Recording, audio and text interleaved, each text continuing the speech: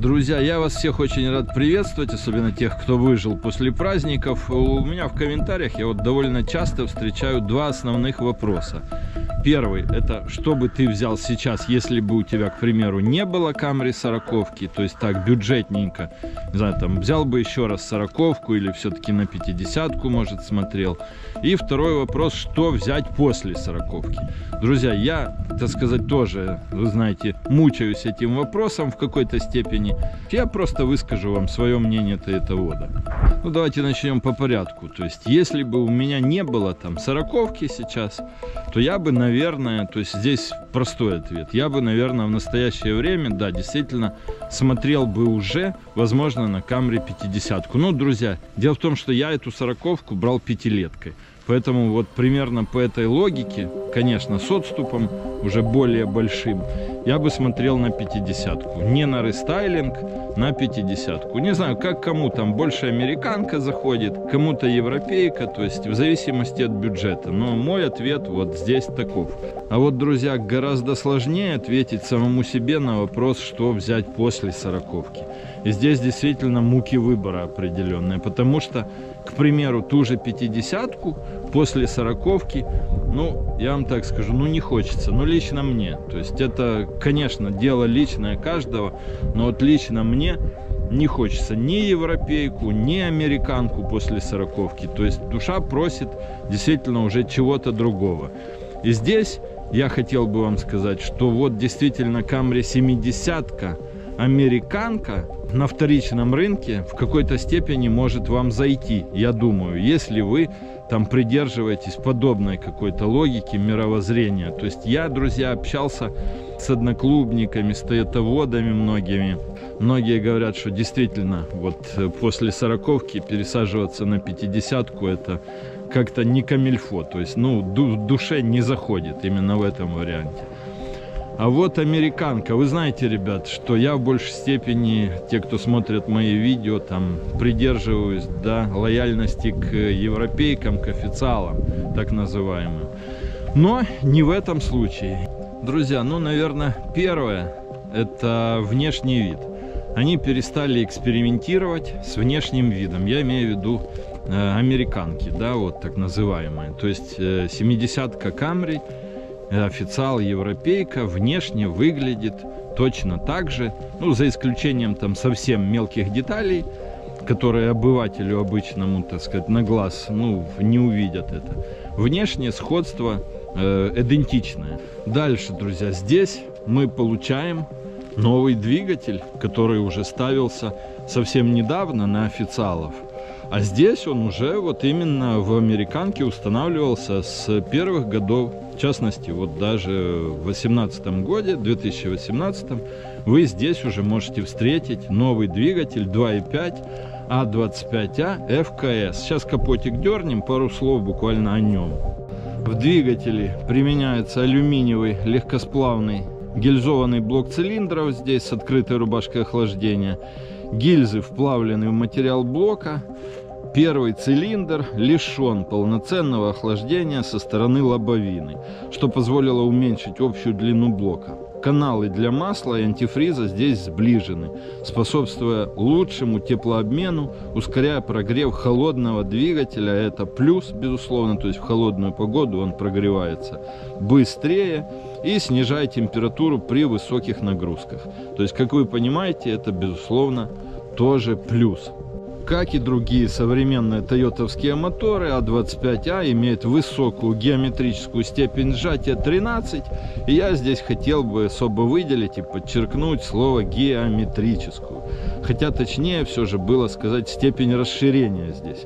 Реальная степень сжатия при работе по циклу Миллера значительно все-таки ниже, друзья. Так что двигатель изначально тоже рассчитан на использование обычного бензина RON 91 либо регуляр такой есть в Японии бензин регуляр я об этом тоже говорил. Ссылки кстати кому будет интересно я оставлю по поводу бензина вот в описании под этим видео. Я поставлю ссылочки. Можете пойти посмотреть э, что у нее в допусках по бензину в приводе клапанов у нас используются здесь гидрокомпенсаторы клапанных зазоров и роликовые толкатели, рокеры. То есть здесь, по сути дела, в этом уже моторе, друзья, стоят гидрокомпенсаторы. Официально предписанные производителем значения вязкости масел на этот мотор А25А это у нас 0В16, 0В20, 5В30, всеми нами любимые, 10В30 и 15В40. Вот этот вот перечень, это то, что в зависимости от э, температуры окружающей, ну, условно говоря, в каких условиях она будет эксплуатироваться, по сути дела, ей предписано. То есть, друзья, фактически ресурс по нему заявлен около 300 тоже. То есть заявленный прекрасный ресурс по этому мотору.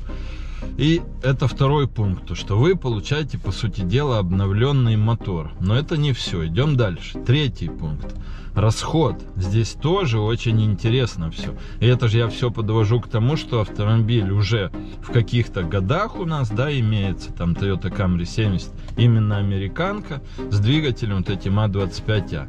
Теперь вот по расходу. В городе, друзья, у него заявлен, ну, по документации, это я должен сказать, 8,1, по трассе 5,7. Теперь, что у нас на практике? Друзья, по расходу здесь картина вообще э, очень классная. Смотрите, вот э, владелец этой камриухи живет за городом. На работу ездит в город, соответственно. То есть и выходит у него смешанный цикл, вот, в чистом виде смешанный. Поскольку и по трассе, ну вон так, под Киевом, да, чуть-чуть, и, соответственно, по пробкам. Значит, э, смотрите, вот на практике. Значит, предыдущий период, вот у нас 7,6, вот он, видите, 7,6. Текущий сейчас 8,8, вот вы можете видеть. Но, друзья, текущий, это я сейчас стою, ну, холодно. Она включена, заведена. То есть ориентироваться проще вот по этому, 7,6. То есть вот такой вот, а это в чистом виде смешанный, вот у него и получается на практике. Вот и думайте сами. То есть видите, как вот этот обновленный двигатель, что нам выдает. Ну, это реалии. То есть вы получаете ко всему же офигенно экономичный двигатель, который довольно-таки производительный. То есть ее назвать там овощной, да нельзя, 2,5 ей вполне. Ну, единственное, конечно, если вы в заездах, опять-таки, участвуете и любите там сумасшедшим образом скорость, то этот вариант не для вас, то есть вам 3,5 нужно. Но если вам для такой бытовой повседневной эксплуатации, то конфигурация с расходом топлива у нас здесь по бензину, ну просто замечательная получается, прекраснейшая. Дальше, друзья, карабасик. Здесь получаете вы опять-таки восьмиступку, то есть что уже э, это новая коробка, что уже тоже плюс. Она, соответственно, тоже немаловажную роль принимает, тоже в экономии, так сказать, топлива. При этом э, здесь у нас, видите, есть режим ограничительный, вот. Ну, он мне когда-то писали, да, я уже неоднократно об этом рассказывал. То есть S1, там, да, это у нас выше первой не переключится. S2 выше там второй, соответственно, третий, четвертый, пятый, шестой, седьмой и вот, да, там, восьмой. Ну, самое высокое, по сути дела. То есть карабасик мы здесь получаем тоже прекрасный, восьмиступка новая. И это все, опять-таки, на американке, друзья. Вот, по сути дела, даже, который 4 годика. То есть вариант очень неплохой, опять-таки. Подобные коробки на официалов начали ставить относительно недавно. То есть, как обычно, да, в первую очередь это было все реализовано и установлено у нас на американках. То есть, поэтому, если берете, пересаживаетесь даже с той же камрюхи сороковки, это все комплексно, по идее, должно вам зайти. Ну, в моем понимании, то есть, я, опять-таки, не настаиваю на эталоне мнений, но мне кажется, должно зайти. Друзья, что касается места сзади, знаете, я в этом видео не буду отвлекаться на эти вещи, потому что я уже неоднократно делал обзоры подобные, так, более фундаментально мы говорим. То есть по дорожному просвету, кстати, здесь несущественно оно отличается, он здесь, по-моему, 145, да, здесь 145, ну, то есть считайте там 150.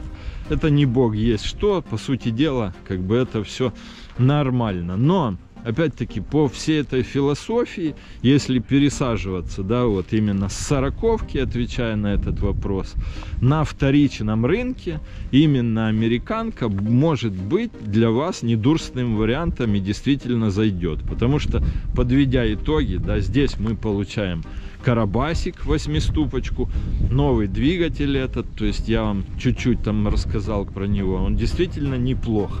Расход прекрасный, ну и внешний вид, то есть даже в до рестайле, она, кстати, особо даже в рестайлинге, там, ну, тоже, там надо глаз наметанный иметь, то есть идентично. Поэтому вариант действительно очень недурственный, друзья. Всем удачи, добра, пока.